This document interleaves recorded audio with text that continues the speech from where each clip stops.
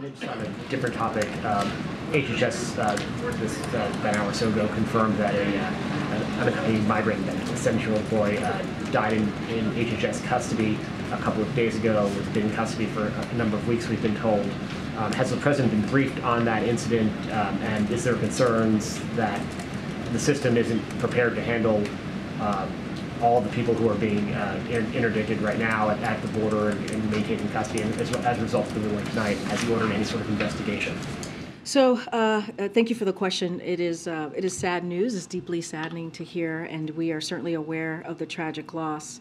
And uh, our hearts go out to the family. Uh, and it is, uh, uh, as I just mentioned, being a mother and celebrating Mother's Day on, on Sunday, it is very devastating news. There is a medical investigation that was opened on May 10th, and so I don't want to get ahead of that. We got to let the investigation go through. And so, any specific questions, certainly I would have to refer you to HHS. I haven't actually spoken to the president about this, so I- I don't have any information if he, he's been briefed on this. But I can say that uh, there is a medical investigation that's, that was, uh, that was open on May 10th, and we're just going to let that go. I think I'm getting the sign for the pool. So if the pool wants to, uh, which way should, should, they should, they should exit this way, to the left.